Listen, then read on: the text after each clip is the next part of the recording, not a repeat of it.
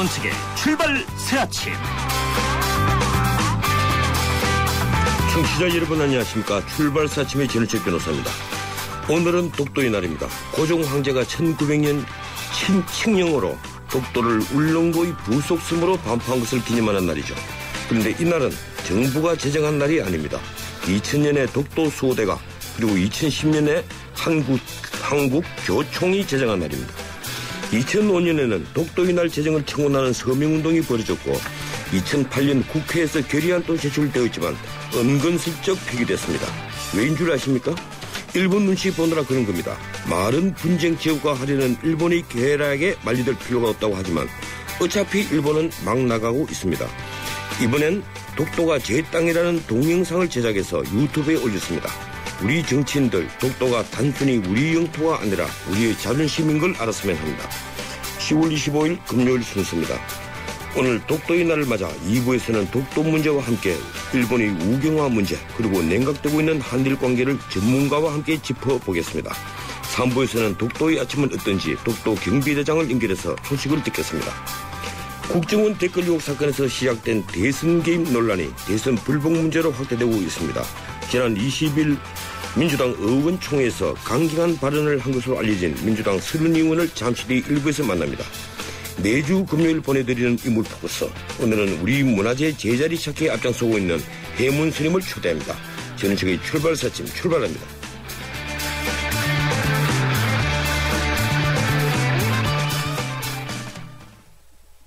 음, 모카골드. 준기야, 다른 건 왜 이 맛이 안 날까? 상현 선배, 손 좀 줘봐요. 어? 원두? 원두 좋아진 거 느껴져요? 더 좋은 원두로 더 맛있어진 모카골드가 시작됩니다. 음, 맛있다. 맛있는 커피의 황금 비율, 맥심 모카골드. 나 강동원 언제 어디서나 아메리카노를 마신다 루카를 마신다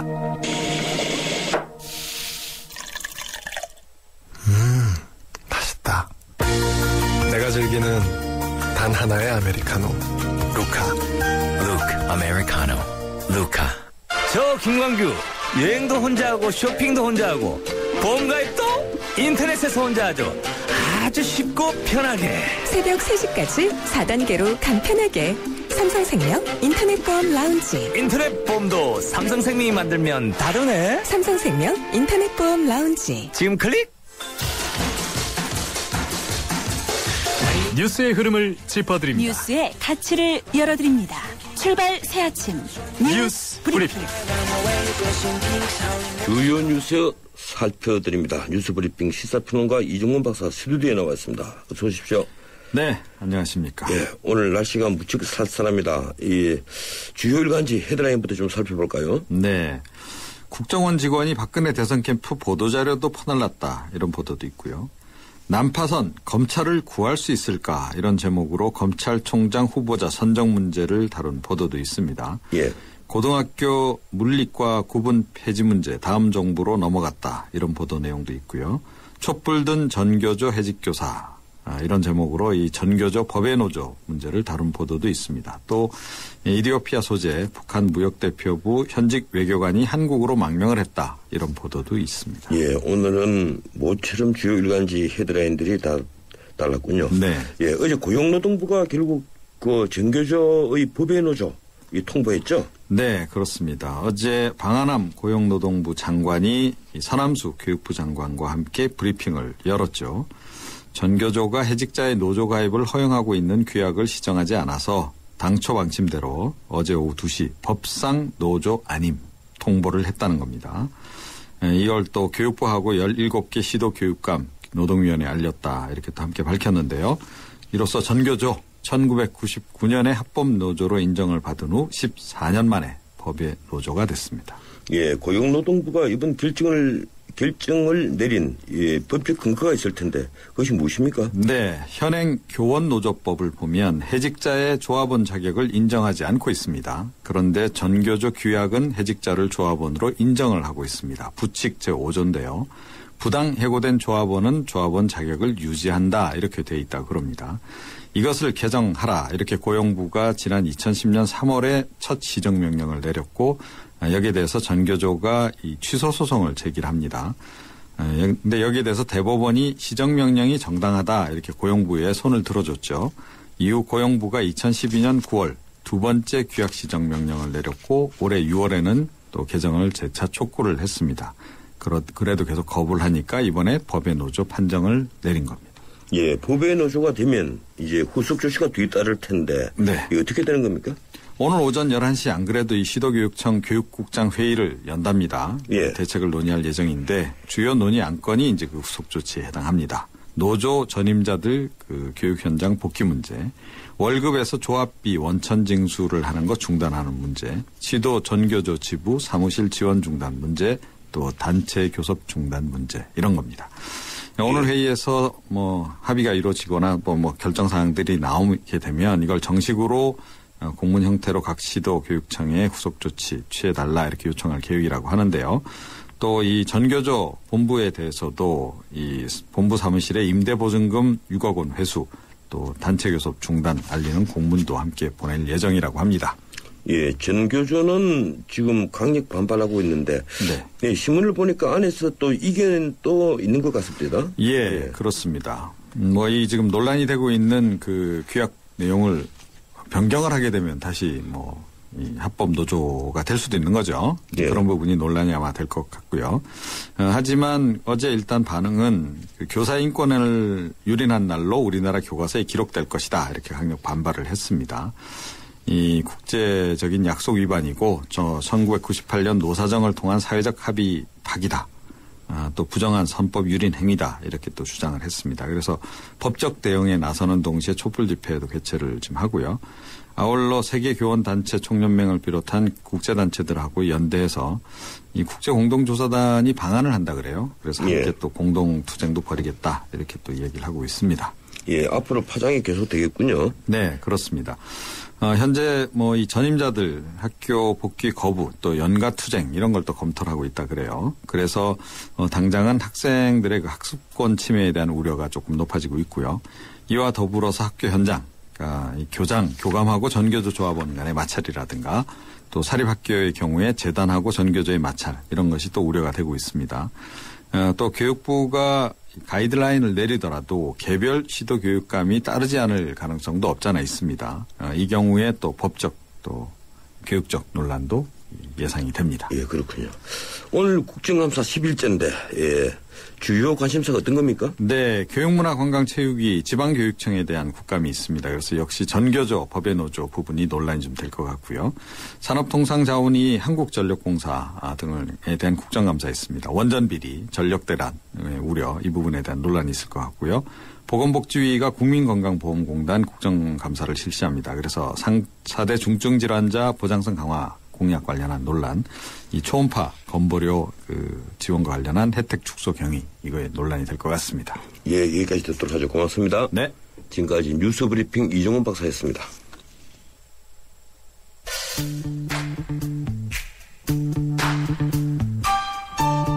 전원책의 출발 새 아침은 누가 만들까요? 바로 지금 이 방송을 듣고 계신 청취자 여러분들입니다. 오늘 방송 내용을 듣고 느낀 생각이나 의견을 한 줄의 문장으로 만들어 보내주세요. 여러분이 보내주신 촌철살인의 사연과 의견을 클로징 멘트로 소개해드리고 책 선물도 드립니다. YTN 라디오 모바일엔 예스나 우물정 0945 50원의 유료 문자 메시지로 지금 바로 청취자 여러분의 클로징 멘트를 보내주세요.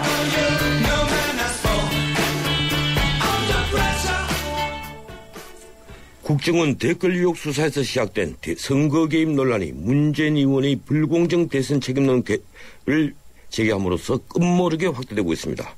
대선 후보였던 문 의원이 지난 대선을 불공정 선거로 규정하고 박 대통령에게 책임을 촉구하면서 대선 불복으로 치닫고 있는 형국인 것입니다. 새누리당은 댓글 때문에 당선된 것이 아니라면서 야당이 대선 불복의 본색을 드러냈다고 성토합니다. 민주당 지도부는 대선 불복은 아니라면서도 박 대통령에게 사과와 함께 책임자 문책을 요구함으로써 사실상 부정선거 책임을 묻고 나섰습니다. 지난 20일 있었던 긴급 이총에서는 대선에 승복할 것인가를 다시 한번 생각해야 한다라는 말까지 나왔습니다. 그 말의 주인공 오늘 서른 의원 모시겠습니다. 안녕하세요, 서른 의원님. 네, 안녕하세요. 서른입니다. 예, 오랜만입니다. 예, 네, 뭐- 반갑습니다. 예, 먼저 지난 20일 의총 얘기부터 좀 듣겠습니다. 예, 그날 지난 대선에 대한 불복성 발언들이 여러 차례 많은 의원들에게서 나왔다고 보도가 되는데요. 예, 우리 서른 의원께서도 그 대선 자체가 승복할 수 있는 것이었는지 다시 한번 생각해야 한다. 이렇게 발언했다고 크게 보도가 됐습니다. 언론은 대선 불복성이다. 이렇게 평가를 했는데 발언 진이 무엇입니까? 음, 다시 한번 말씀을 드리지만은 예. 저는 또 우리 당내에서는 아직까지 어느 누구도 어, 대선을 새로 하자 말하자면 대선 불복한다 이런 말씀을 한 분들은 없습니다. 그러나 제가 대선을 어떻게 받아들일 거냐 하는 문제에서는 어, 환기를 다시 시켜야 한다는 입장에서 얘기를 했는데요. 지금 상황이 어, 일테면 대선 직후에 나왔던 그때 그 상황과 사뭇 달라져 가고 있습니다. 우선 이 사건에 대한 내용 자체도 새롭게 커져가고 있고요.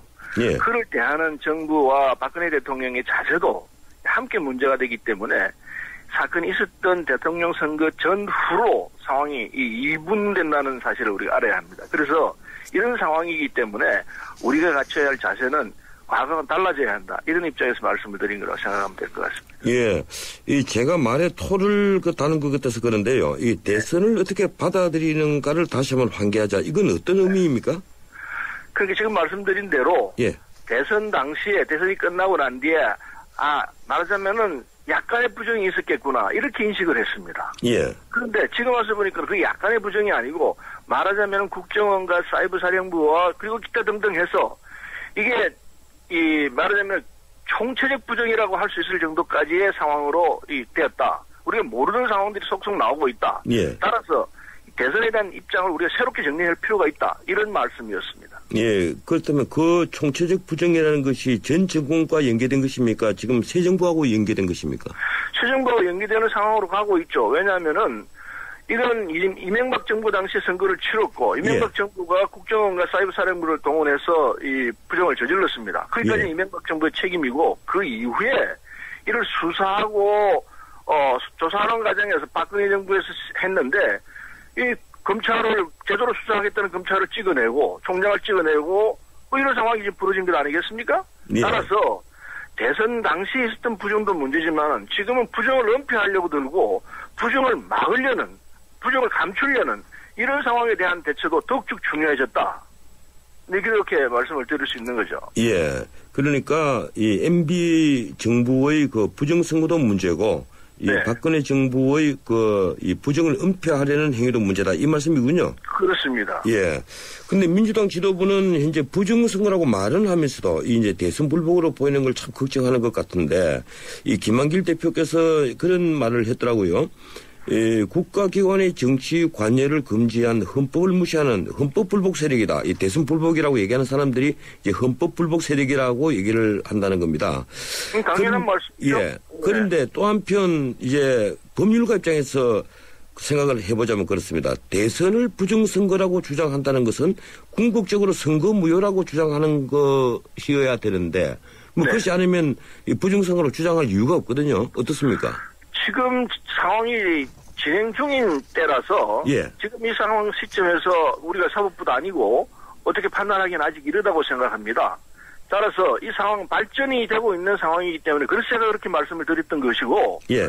이건 정리를 바라기는요. 우리가 지금 야당이 바라는 입장에서 또 국민이 바라는 입장에서는 이 상황을 빨리 정리를 하고 박근혜 대통령이 사과할 부분에서 분명히 사과를 하고 책임질 사람에 대해서 책임을 지우고 이 상황을 정리하고 넘어가는 것이 옳다. 이게 국민 일반의 생각입니다. 그리고 저도 그렇게 생각하고 있습니다. 그런데 문제는 뭐냐면은 이걸 새누리당과 박근혜 대통령은 지금 이게 정답인데도 불구하고 이 길을 가지 않고 엉뚱하게 이거 처음부터 부정이 없었다 또는 이건 상관이 없는 짓이다 이렇게 몰아 나가니까 이래서 이게 문제가 커지고 있고 그렇게 가면은 어떤 상황으로 발전할 수 없다 알 수가 없다 이게 제가 드리는 말씀이고 우리 당의 입장입니다 그러니까 빨리 정리를 할 자세를 갖춰야 되는데 야당 저, 저 여당이나 박근혜 대통령 그런 자세를 안 갖추고 있습니다.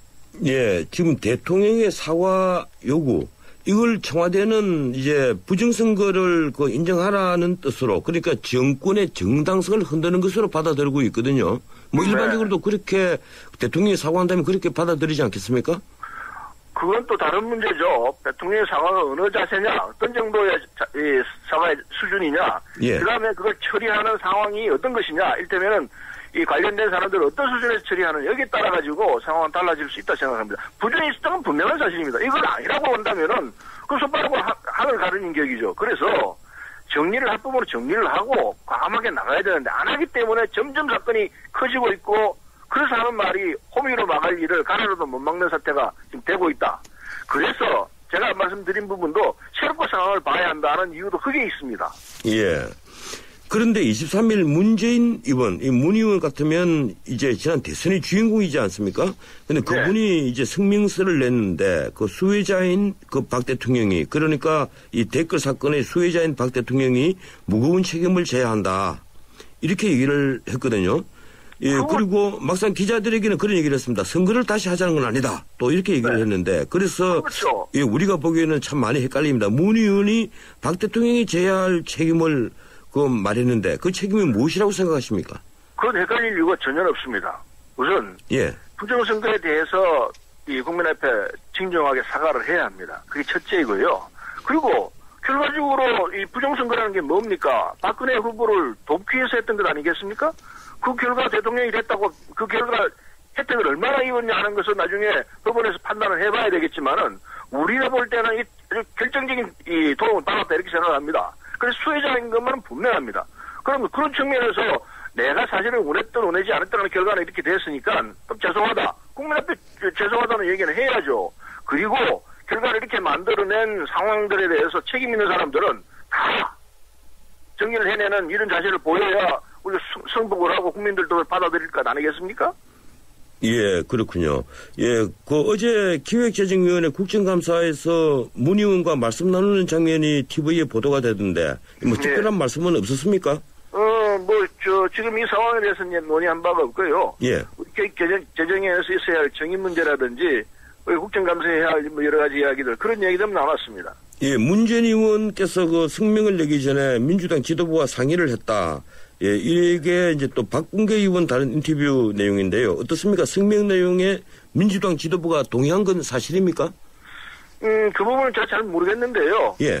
어, 다만, 그, 이 박지원 전 원내대표가, 저, 이 자신과 상의했다는 얘기는 제가 들었습니다. 그러니까, 뭐 이 문제는 같은 당내 동지들이기 때문에, 뭐 충분히 상의하고 했을 거로 저는 생각합니다. 예, 어떻든 이 문 의원의 성명서로 인해서 새누리당에서는 이 문 의원이 대선 불복에 나섰다 이렇게 공격을 했습니다. 그러자 민주당 지도부는 대선 불복은 절대 아니다 이렇게 진화를 그 했는데요. 이 그래서 나온 게 이 지도부와 친노계 간에 이 시각 차이가 있는 것이 아니냐 하는 이제 언론 보도입니다. 어떻습니까? 아니, 그건 전혀 아니, 그건 전혀 아니고요. 예. 지금 현재 우리 당내 상황은 어, 지도부와 뭐 초선의원 일반 당원 할 것 없이 하나로 뭉쳐 있는 게 분명한 사실입니다. 문, 친노고 뭐노 이 전혀 없습니다. 그건 괜히 언론에서 이 잘못하는 바이고 또는 새누리당에서 그러기를 바라는 희망사항일 뿐입니다. 예, 그 민주당이 그 우리 서류님 말씀처럼 그렇게 화학적 융합을 했다고 하니까 이 네. 굉장히 놀라 놀랍게 들리는데요. 이 많은 언론들은 그렇게 보지 않고 있습니다. 어, 그건 아니에요. 제가 뭐 거짓말하는 예. 건 전혀 아니니까요. 제가 뭐 친노계입니까? 예, 그건 아니죠. 그런 건 아니죠. 그렇기 때문에 저를 예. 보더라도 아 이게 이 분열된 상태도 아니고 친노가 주도하는 것도 아니고 다 아시게 될 겁니다. 예, 참 말씀 나왔으니까 우리 서류님 의원님은 그 손학규 전 대표와 아주 가까운 사이지 않습니까? 음, 네, 가까운 사이죠. 예, 그 지금 이 손학규 대표가 언제쯤 그 정치 일선에 롤백할까요? 귀국을 했으니까 지금 정치 일선에 와 있다고 봐야 될 것 같고요. 예. 어, 그러나 현재 현역 의원도 아니시고 당내 또 직위를 가지고 계시는 상황이 아니기 때문에 어, 상황에 대해서 적절한 이 그 이 자신의 얘기는 하겠지만은 뭐 정치 일선에 있냐 없냐는 중요한 거 아닌 것 같습니다. 시시때때로 필요하다면 자신의 발언을 할 거라고 봅니다. 예, 지금 청취자 여러분들은 대선 불복 논란과, 논란과 관련해서 서른 의원의 인터뷰를 예, 듣고 있습니다. 예, 여러분들의 의견도 그 보내주시면 제가 예, 참작을 하도록 하겠습니다. 예, 다음 질문 드릴게요. 네. 이 대선 불복으로 비치는 것을 저는 그 하나 신기하게 생각하는 것이 민주당에서 왜 이렇게 그 대선 불복으로 비치는 것을 걱정하고 반대하는지 솔직히 말해서 부정선거에 그렇게 분노를 하는 것 같으면 이 불복하는 자세를 보인다 하더라도 그렇게 나쁜 건 아니거든요. 이 민주당의 역풍이 부는 것을 걱정하기 때문 아닙니까? 음, 뭐, 그렇게 보는 시각도 있는 것 같습니다만은, 저는 뭐, 그 대선 불복이냐 아니냐 하는 시비를 하는 것 자체가 우습다고 생각합니다. 예. 이것은, 이, 이 세상 일이라는 것은 진행이 되면서 발전해 갈 경우가 있거든요. 뭐, 사그러지기도 합니다만은, 앞으로 그, 이, 이 대선 국면에 대한 상황은 박근혜 대통령과 새누리당이 어떻게 하느냐에 따라서 이게 그 더 커지기도 하고, 또 정리가 되기도 하고 그럴 거라 생각합니다. 따라서 이게 진행이기 때문에 대선 불복이냐 아니냐 하는 얘기를 새누리당이 할 이유는 없다고 봅니다. 경우에 따라서는 대선 불복이 아니라 그보다 더한 상황이 올 수도 있고 또는 경우에 따라서는 여기서 정리를 하고 좋다 합의해서 그러면은 국정을 원만하게 하자 이럴 수도 있는 겁니다. 이거 전적으로 박근혜 대통령과 새누리당의 합의에 따라 가지고 대선 불복이 될 수도 있고 또 아니면은 정리가 돼서 새로운 단계 어떤 그 정치적 합의에서 이 평화로운 정치 상황으로 갈 수도 있고 순전히 새누리당의 그, 이 자세와 박근혜 대통령이 어떻게 이 전국에 임하느냐에 따라 달려서 어, 정리가 될 거라 생각합니다. 예, 상황 전개에 따라서는 이제 대선 불복으로 나갈 수도 있다. 이런 말씀으로 제가 이해를 하겠습니다. 뭐 상황에 따라서는 어떤 상황이 지- 전개될지 우리는 모르는 바이죠. 예. 그 일각에서는 문재인 의원이 NLL 회의록 사건부터 당과 계속 엇박자를 내고 있다. 이런 얘기를 하는데 그래서 이번 성명도 대선 당사자로서는 적절하지 않다. 이런 의견도 있다. 이런 이제 보도도 있었습니다. 뭐 그럴 수도 있지만은요. 예. 저는 뭐 그렇게 생각하지는 않습니다. 이건 저 문재인 의원이 그 그저께 낸 발언 자체는 시적절했고 해야 할 얘기를 했다 이렇게 생각하고 있고요. 물론 견해라는 것은 각각 다를 수가 있습니다. 그 상황에 대해서 그건 그 후보로서 좀 더 참았다 해도 되는 것 아닌가 이런 말씀하실 분도 있을 겁니다. 그 말도 틀린 얘기는 아니라 생각합니다. 그러나 저 개인적으로는 어, 문재인 후보가 그, 에, 문재인 의원이 그, 이, 이 상황에서 적절하게 자기 주장을 했고 국민들에게 과거 민주당 우리 후보로서 대통령 후보로서 해야 할 말을 했다 이렇게 생각합니다. 예, 지금 여당은 아주 반발이 크거든요. 황우여 대표는 선거 사범을 문제 삼아서 대선 불복을 한 전례가 없다 이런 얘기를 했고 또 최경환 원내대표도 수사 중인 대통령 현재 수사 중인데 대통령이 뭘 책임지라는 것이냐 또 이런 얘기도 나왔습니다. 이 민주당이 너무 정치 예, 그런 자세를 여당이 보이기 때문에 이 상황은 점점 각화되고 국민 분노는 더 커지는 겁니다. 그게 이 참 답답해요. 이 상황을 정리를 하고 넘어갈 생각이 전혀 없는 사람들입니다. 그냥 뒷전지고 보고 있거나 내일 아니라고 생각하고 있거나 그렇기 때문에 상황은 점점 악화되고 커지고 있고 수 없는 상황으로 가고 있다는 얘기를 꼭 하고 싶어요. 그게 박근혜 대통령이 침묵하고 있는 제일 큰 이유지만은 그, 그 못지않게 새누리당이 자꾸 그런 자세를 갖고 있기 때문에 국민들이 분노하고 이 상황이 발전돼 나가는 겁니다. 이걸 예. 새누리당이 알아야 합니다. 예, 지금 새누리당은 지난 대선 때 108만 표 차이가 났고 선거 기간 중에 하루 천만 개 작성되는 댓글에서 이 몇천 개의 설령 몇천 개의 댓글이 있다 하더라도 그것이 무슨 당락에 영향이 있었느냐 이제 이런 얘기거든요. 어떻습니까? 그건요, 그건 꼭 그렇게 볼 게 아니고요. 박근혜 후보가 유효표 51.8%를 얻었고요. 우리가 48.2%를 얻었습니다. 당선성이 50%인데 1.8%를 앞섰습니다. 1.8%라는 것은요, 100명 중에 두 사람이 박근혜 후보를 찍지 않고 문재인 후보를 찍었다라면 상황은 뒤집어지는 겁니다. 예. 100명 중에 두 사람이 저는 새누리당이 그렇게 부정을 함으로 해가지고 100명 중에 두 사람 아니라 훨씬 더 많은 사람이 했을 수도 있다. 이렇게 생각합니다. 예, 알겠습니다. 그렇기 때문에 새누리당이 보는 시각으로 보면은 이 상황을 제대로 못 보는 겁니다. 예, 지금 윤석열 수사팀장이 수사에서 배제되면서 외압이다 항명이다는 논란이 벌어졌는데요. 이 민주당은 물론 외압으로 보고 조영근 서울중앙지검장의 문제까지 요구를 했습니다. 네. 그런데 현재 대검에서 감찰에 착수를 했는데 그 결과를 보고 문책을 요구하는 것이 옳지 않겠습니까? 그는 누가 봐도 윤석열 저이 팀장이 제대로 하려고 했, 했던 건 아닙니까? 그 누가 보더라는 아니죠. 반대편도 있습니다. 예. 저는 그렇게 생각합니다. 예. 예. 그래서 그 문제를 가지고 윤석열 이, 저윤 팀장에 대해서 감찰을 하겠다고 나서는 것은요. 또 한 번의 악수를 놓는 겁니다. 예. 또 한 번의 악수이고 이 상황을 점점 더 악화시키는 행위에 뭐 지나지 않습니다. 이 지금 이 국면에서는요. 아까도 누누이 얘기했습니다만은 겸허히 봐야 합니다. 새누리당이 예. 우리가 국민과 야당이 선거 새로 하자고 얘기하고 있는 거 아닙니다. 다시 말씀드립니다. 선거 새로 하자고 안 하고 있습니다. 그런데도 불구하고 도덕이 재발에 지린다고 이거 선거 새로 하자는 거 아니냐는 식으로 해석을 하면서 모든 국민이 그렇게 갈까 싶어가지고 점점 더 악화시키고 있는 이 자체야말로 새로운 상황을 자꾸 불러낸다는 사실을 알아야 합니다. 예, 뭐, 지금- 네, 잘못했으면 잘못했다 해야 합니다. 예, 지금 청와대가 민주당이 요구하는 사과는 하지 않을 것으로 보이는데요. 이 앞으로 민주당 어떻게 투쟁하실 겁니까? 사과를 안 하고 100일까요? 저는 사과한다고 생각합니다. 예. 그건 저 사과 안 하겠다는 자세는요. 뭐 사과 안 할 수도 있습니다. 그러나 그렇게 되면은요. 점점 국민은 어, 등을 돌릴 겁니다. 예. 저는 불행하게 됩니다. 사과할 부분에 사과해야 때려 놓치면은 점점 더 이 공공해질 따름입니다. 예, 알겠습니다. 여기까지 듣겠습니다. 네, 감사합니다. 예, 지금까지 민주당 서른 의원이었습니다. 예, 더욱 뜨거워지고 있는 대선 관련 논란. 오늘은 민주당 서른 의원만 인터뷰를 했는데요. 다음 주 초에는 새누리당 의원을 모셔서 관련 이야기 계속 듣도록 하겠습니다. 지휘자 금난사입니다. 높고 낮은 음, 금관악기와 목관악기까지 개성 있는 음들의 하모니를 만들 수 있는 건 하루하루 열심히 기록하는 습관입니다. 최고의 하모니를 위한 금난세 씨의 노력은 매일매일 양지 다이어리와 함께합니다. 나의 역사 속엔 언제나 양지 다이어리.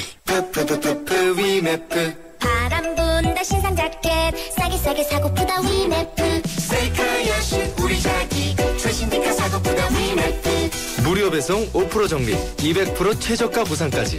이승기 이서진도 쇼핑은 위맵. 자세한 내용은 홈페이지를 참조하세요. 온 동네 맛있다고 소문났네. 최신 김치 냉장고. 모든 제품 다 보고 비교했지. 역시나 하이마트. 김치 냉장고는 하이마트.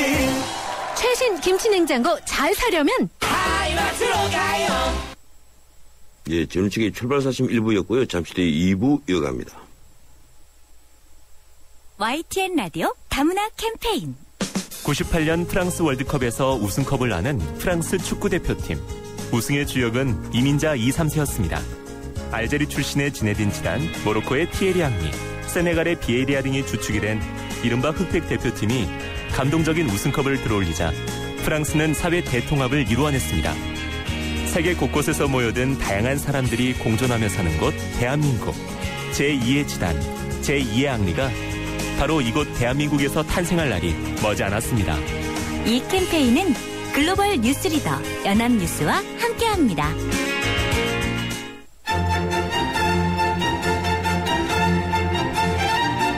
출근길 정통 시사 라디오 프로그램 YTN 라디오 전원책의 출발 새 아침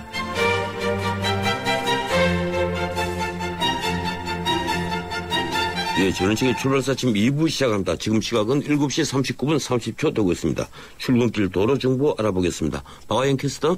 네, 금요일 출근길 많이 추우시죠? 갑자기 날이 많이 추워지니까 덩달아 고장자 소식도 전해지는데요. 올림픽대로 하남 쪽으로 동작대교 아래 1차로에 고장차가 서 있었습니다. 추워져진 지금도 조금 밀리고 있고요. 방화대교에서 성산대교 여의도 구간으로 밀립니다. 강변북로도 강동 쪽으로 차가 몰리면서 가양대교에서 동작대교까지 속도가 떨어집니다. 출발 새 아침 교통정보였습니다. 자동차 1년에 얼마나 타세요? 한 9천 킬로? 사고 난 적은요? 3년간 없죠. 그럼 보험료 할인 더 받으셔야죠. 마일리지로 할인받고 3년 무사고로 또 한 번 할인. 악사 다이렉트 자동차 보험 1566-1566 악사 다이렉트 가입 시 유의사항을 꼭 확인하세요. 업데이트 한 번 안 했다고 바다를 달리고 산을 헤매는 당신의 내비는 해도 언제나 최신 지도로 누구보다 빠르게 안내하는 유플러스 내비 LTE는 마음껏 감탄하세요. 이런 게 100% LTE 생활. 유플러스. 달리고 싶은 유럽 탑10 개표 결과입니다. 프라하 스쿠터 투어가 선전을 한 가운데 알프스 산악열차를 제치고 1위는 아 압도적인데요. 내가 사랑한 유럽 탑10. 투표 결과는 travel.koreanair.com에서 대한항공 유럽 11개 도시 최다 노선 운항. Excellence in flight. Korean Air. 아이가 떼쓰면 사탕을 주긴 하는데 아, 마음이 복잡해요. 먹여도 되나? 몸에 좋은 것도 아닌데. 서울우유가 엄마의 고민 하나를 덜었다. 칼슘에서 비타민 D3까지 우유의 영양이 듬뿍. 이거 완전 씹어먹는 우유네? 서울우유 밀크캔디. 오늘은 독도의 날입니다. 고종 황제가 1900년 10월 25일 대한제국 칙령 제41호로서 독도를 울릉도의 부속섬으로 명시한 것을 기념하기 위해 2000년 독도 소대가 제정했고 2010년 한국 교총이 다시 제정한 날입니다. 독도는 이제 우리 영토라는 의미를 넘어서서 우리의 자존심이 되고 있습니다. 그런데 일본 정부는 지난 16일 다케시마를 아십니까? 이런 제목의 동영상을 유튜브와 외무성 사이트에 올렸습니다. 자신들이 17세기에 독도 영유권을 확보했고 1905년 가기 결정으로 이를 재확인했는데 한국이 1952년 이승만 라인 이른바 평화선으로 불법 증거를 했다는 겁니다. 이 동영상을 한국어를 비롯해 천, 아, 10개국 말로 번역해서 인터넷에 올리기로 했다는군요. 오늘은 독도 문제를 중심으로 간극이 커지는 한일 관계 해법은 무엇인지 전문가의 의견을 듣겠습니다. 한신대 일본 지역학과 하종문 교수 전화 연결되어 있습니다. 하 교수님 안녕하세요. 네, 안녕하십니까. 예. 제가 말씀드렸습니다만은 이제 일본 정부가 독도 영유권 주장을 노골화하고 있습니다. 작년에는 그리고 금년에도 국방 백세 수록하더니만 이제 동영상까지 제작을 해서 선전에 나섰는데요. 네. 일본이 노리는 목적이 무엇이라고 생각하십니까? 예, 1차적으로는 국제 홍보라는 말을 가지고 있습니다만 제가 볼 때는 국내에 독도 문제를 쟁점화하는 그러니까 국내의 정치적 효과를 노리고 있는 게 우선 가장 노리고 있는 목적이라고 생각이 됩니다. 예. 무슨 말씀이냐면 그 8월 달에 그 여론 조사를 했지 않습니까? 일본에서. 예. 근데 그때도 생각보다는 독도 문제에 대한 인식이 일본 국민들이 그다지 높지는 않았습니다. 그러니까 그런 면에서 국내 홍보가 일단은 우선적이라고 생각이 되고요. 근데 홍보 동영상의 길이가 1분 27초인데 사실은 그것을 국제적인 어떤 쟁점화를 하기 위한 문제를 선전하고 알리는 효과는 그다지 높지 않다고 판단이 됩니다. 그런 면에서는 오히려 저는 국내적인 부분에 대한 그 홍보 효과를 더 크게 노린 것이 아닌가. 즉, 국내의 정치적인 쟁점화라고 하는 것이 일차적인 목적이라고 판단이 됩니다. 예, 이 말씀 나왔으니까 제가 여쭤보겠는데 일본 국민들이 자기들 말하는 다케시마에 관한 그러한 그 어떤 인식이 그렇게 크게 높지 않더라고요. 지금 어느 정도죠?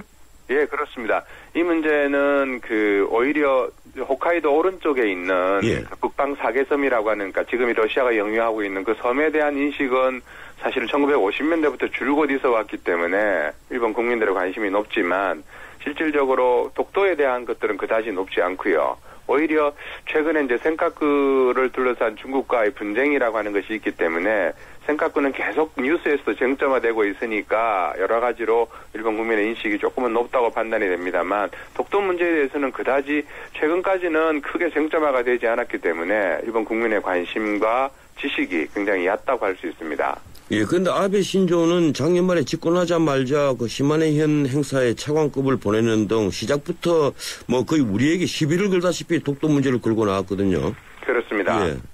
예, 아베 정권의 성격 자체가 어쨌든 어, 주변 국가에 대해서 특히 한, 그것은 한국과 중국이 됩니다만 할 말은 하는 나라, 그러니까 자신의 주장을 적극적으로 펼칠 수 있는 국가라고 하는 것을 이미지를 강조하고 있거든요. 예. 그러니까 그런 면에서 걸끄러운 역사 문제라든지 영토 문제에 대해서도 자신의 명확한 태도, 특히 일본이라는 나라의 확고한 의지를 보여주는 것이 본인의 정치적인 그 목적이라고 판단하고 있기 때문에 어, 독도 문제에 대해서 굉장히 도발적인 언사나 행동을 되풀이하고 있는 것이죠. 예, 우리 정부 이 대응이 너무 온건하지 않느냐 이런 논란이 있습니다. 이 외교부 대변인이 동영상을 즉각 삭제하라고 요구했고 일본은 뭐 당연히 거절했고요. 네. 추가로 한 편 더 만든다는 것 아니겠습니까? 그렇습니다. 그런데 우리 정부는 기껏 일본 대사관에 쿠라이 다카시 그 총괄공사 불러갖고 항의하는 수준에 그쳤습니다. 네. 예, 어떻게 생각하십니까? 예. 그 부분은 저는 독도 문제의 쟁점화라고 하는 것은 일본의 도발이 어, 아주 냉정하게 판단한다면 그 동영상을 내리라고 해서 내릴 것도 아니거니와 그다음에 총괄공사가 아니라 대사를 부른다고 해서 아니면은 일본 한국 대사를 다시 그 주일 대사를 한국으로 불러들인다고 해서 문제가 해결되는 것은 아니거든요. 예. 그러니까 어떤 면에서는 일종의 그 정해진 패턴을 반복하고 있는 것이라고 한다면 최근에 일본의 그 동영상을 포함한 일련의 도발이라고 하는 거에 대해서 국민적인 감정은 저는 굉장히 어, 분노하고 당연히 그 일본에 대해서 어, 목소리를 높여야 된다고 생각이 되는데요. 오히려 정부는 조금 더 차분한 대응으로 나아가는 것이 그러니까 이 문제에 대해서 제3자나 가령 미국이란 나라에서 어떻게 볼 것인가 이런 것들을 생각한다면 우리가 어느 정도 이렇게 절제 있는 대응이라고 하는 것이 저는 오히려 더 외교적인 효과가 크다고 판단이 됩니다. 예, 이걸 그 자꾸 떠들면 이제 그 분쟁 지역화 하려는 일본의 계획에 말려든다. 이래서 이 조용한 대응이 좋다 이런 주장이 있는데요. 네. 사실 그런 시간이 좀 넘은 것 같다는 말이 이제는 그 오히려 수긍할 만하다는 생각을 합니다.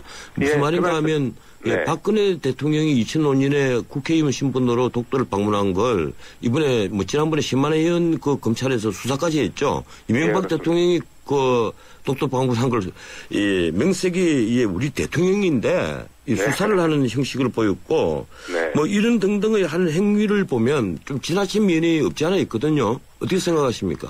예, 그 지금 이 문제는 센카쿠를 둘러싸고는 사실은 일중 중일 간에는 지금 전쟁을 방불케 하는 논사들이 오고 가고 있거든요. 예. 그러니까 그런 면에서 보자면 일련의 일본 정부의 그 영토 문제에 대한 대응의 그 쟁점화라고 하는 수준이 높아진 것은 분명한 사실인 것 같습니다.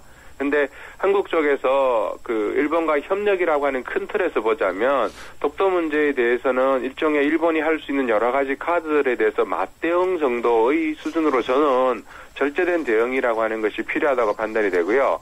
아까 말씀하셨던 여러 가지 그 독도 방문에 대한 얘기들은 사실은 저는 개인적으로는 작년에 독도 방문이 과연 독도 문제를 푸는데 얼마나 효과를 발휘했는가 한다면 저는 오히려 부정적인 효과가 크다고 판단됩니다. 예. 무슨 말씀이냐면 대통령께서 가시, 가시든 가시지 않았든 이 문제를 해결할 수 있는 그 실질적인 효과도 그다지 높지 않거니와 그다음에 일본 정부나 일본의 우익들이 독도와 관련된 도발을 중지한다라는 것에 대한 일종의 카드가 되기도 힘들거든요. 그러니까 그런 측면에서 보자면 문제의 본질적인 상황은 일본 정부나 아니면 일본의 우익들이나 보수 인사들의 움직임을 제어할 수 있는 카드는 사실 한국에는 그다지 없습니다. 제가, 제가 개인적으로 말씀드리면 예. 독도 문제를 둘러싸고 획기적으로 일본의 도발을 제어할 수 있는 카드가 없기 때문에 오히려 그 문제를 일본이 제기하고 있는 현실이 과연 이게 얼마나 일본의 편협한 내셔널리즘인가 하는 얘기를 우리가 스스로 학습하고 그 문제를 그런 메시지를 외국에 여러 가지 형태로 전파하는 것이 저는 오히려 장기적인 전략에서 일본이 오히려 잃는 것이 많고 우리의 국익을 더욱더 크게 키울 수 있는 그런 방안이 아닌가 싶습니다. 예, 지금 청취자 여러분들께서는 일본 정부의 독도 영유권 도발과 관련해서 한신대 일본학과 하정문 교수의 말씀을 듣고 있습니다. 예, 독도 문제를 ICJ에 제소하겠다. 이게 네. 이제 일본 정부가 54년부터 그 시작한 일종의 우리 공격 방법인데요. 그렇습니다. 예, 일본은 일단 분쟁 제거한 뒤에 이 자신들의 외교 역량으로 대처하겠다. 그런 속셈으로 이제 저는 읽고 있습니다. 네. 우리가 어떻게 대응해야 될 것 같습니까? 예, ICJ 제소라고 하는 것은 독도는 의미하는 한국 땅이기 때문에 예. 사실은 그것에 대해서 우리가 어, 굳이 언급할 필요도 없는 그러니까 묵살이라고 하는 표현이 저는 제일 적절할 것 같습니다. 그러니까 ICJ를 가는 가지 않는 이유를 우리가 설명할 필요도 없다라는 거죠. 예. 근데 문제는 어, 그 부분은 있는 것 같습니다. 우리가 독도에 대한 홍보 동영상이나 여러 가지 형태의 국제적인 홍보를 할 때 일본의 경우에는 한국이 여러 가지 형태의 독도에 관한 홍보를 하면서 ICJ에는 가지 않는다라는 그 짤막한 민간인이 만든 동영상을 본 게 있는데요, 어제. 예. 근데 굉장히 그 내용은 나름대로 한국에 조금은 가슴에 찔리는 부분이 없잖아 있는 것 같거든요.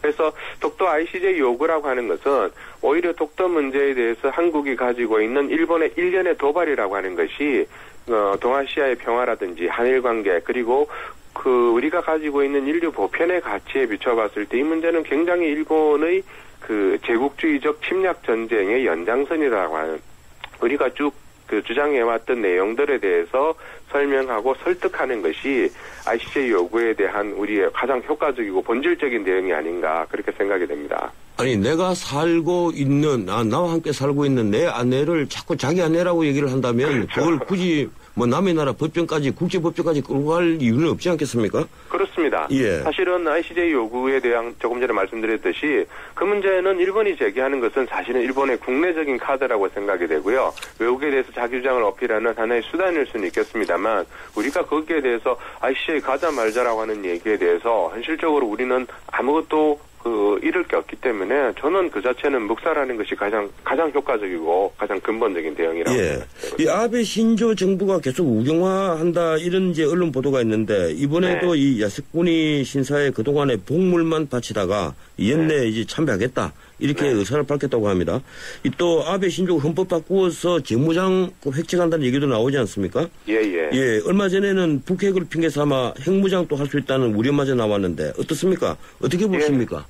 예, 사실은 독도에 대한 도발이라든지 여러 가지 문제가 연동하는 것이 바로 일본의 재무장화 그리고 개헌의 문제라고 생각이 되는데요. 예. 어, 특히 그 집단적 자위권에 관한 문제는 이미 가시권 내에 들어왔기 때문에 미국 이 밀고 있고 그다음에 영국이나 호주까지도 지금 지원하고 있는 상황이기 때문에 동북아에 굉장히 큰 안보 불안 요소가 본격화한 것 같습니다. 예. 그- 그런 면에서 한국이 어떻게 대응할 것인가 적절한 카드가 많지는 않겠습니다만 적어도 그 집단적 자위권에 관한 문제는 동북아의 평화라든지 과거 식민 지배나 침략 전쟁의 역사에 대한 우리 피해 국가로서의 정당한 주장의 측면에서도 저는 이 문제를 한일 간의 문제가 아니라 동북아 전체의 사안이고 그다음에 세계 평화에 관한 문제로서 그 일본뿐만 아니라 미국에 대해서 지속적으로 우리가 설득하는 여러 가지 형태의 문제 제기를 하는 외교적인 노력이 경주돼야 되는 필요가 있는 것 같습니다. 예, 박근혜 정부는 지금 출범 후에 외교 우선 순위를 미국, 중국 다음에 일본으로 했지 않습니까? 예, 그렇습니다. 예, 그, 그러다 보니까 이 간극이 서로 멀어지고 해서 또 일본 정부가 계속 우경화하니까 이제 그게 가장 큰 이유인데요. 네. 예, 결국은 지금 일본 정부가 여러 경로로 한일 정상회담을 타진해 오고 있는 것 같습니다. 예. 그런데 뭐 설령 양국 정상이 만난다 해도 독도나 위안부 문제 등에서 일본 태도가 바뀔 리도 마마하고요. 그렇죠. 이 한일 정상회담 어떻게 보고 계십니까? 언제 열릴 것 같습니까? 사실 연내는 이미 물 건너갔다고 하는 게 정확할 것 같고요. 예. 내년이 되었을 때 어떻게 할 것인가의 문제인데 저는 그 사실은 두 정상이 만나서 서로 얼굴을 붉히거나 설전을 할 모양새가 일단은 연상이 됩니다만 저는 그렇더라도 어 양국 정상이 만나서 이 문제에 대한 오히려 현 주소를 그 각자의 주장을 확인하는 작업도 저는 필요하다고 생각이 됩니다.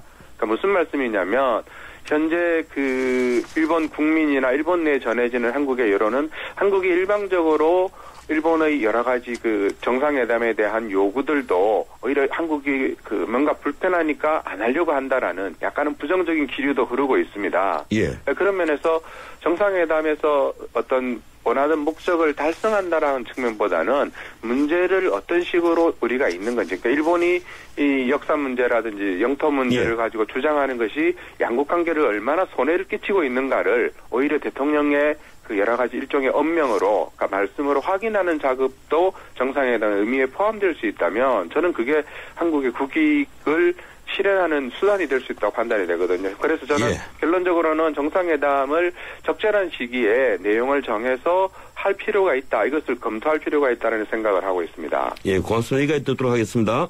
네. 지금까지 한신대 하종문 교수였습니다. 인류의 풍요로움을 안겨준 산업용 로봇과 삶의 편안함을 안겨준 서비스용 로봇 등 세계 각국의 다양한 로봇을 한자리에서 볼 수 있는 전시회 로보월드에서 미래를 체험하십시오. 전 세계 다양한 로봇이 모인 로보월드는 10월 24일부터 27일까지 일산 킨텍스에서 만나실 수 있습니다. 안녕하십니까. IBK 홍보대사 송혜입니다. IBK 기업은행은 대한민국 국민 모두가 거래할 수 있는 은행입니다. 국민 여러분, 기업은행에 예금하면 기업을 살립니다. 그리고 기업이 살아야 일자리가 늘어납니다. 참 좋은 은행, IBK 기업은행. 가슴이 담는 백일섭 박근영입니다. 나가 보일러에 불만이 참 많소. 가스비를 보면 이것이 보일러인지 가스 먹는 귀신인지 알 수가 없단께 불평만 말고 귀뚜라미로 잡어 힘은 태워잡고 거꾸로 태워잡고 보일러는 귀뚜라미. 안긴씨 보일러는 귀뚜라미 LG G2는 왜 렌즈가 움직이는? 1300만 화소 OIS 카메라. 를 만들었을까? 정답은 TV 광고에. Learning from you. LG G2 서경석과 함께 공무원 시험 합격은 에듀윌. 공인중개사 합격도 에듀윌 사회복지사 합격, 주택관리사 합격, 우리 모두 다 같이 에듀윌. 자격증 공무원 전문교육 에듀윌. 합격은 에듀윌. 예, 출발사 아침 2부였습니다. 8시 10분에 돌아오겠습니다.